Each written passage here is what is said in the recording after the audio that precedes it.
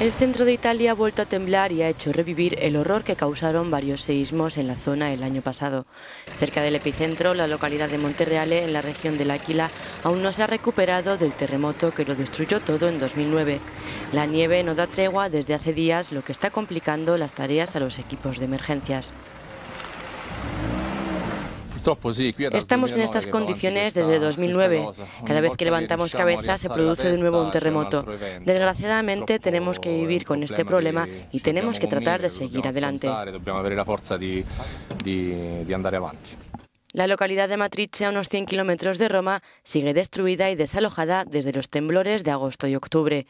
Lo que quedaba del campanario de la iglesia de San Agustín se ha venido abajo con el nuevo seísmo.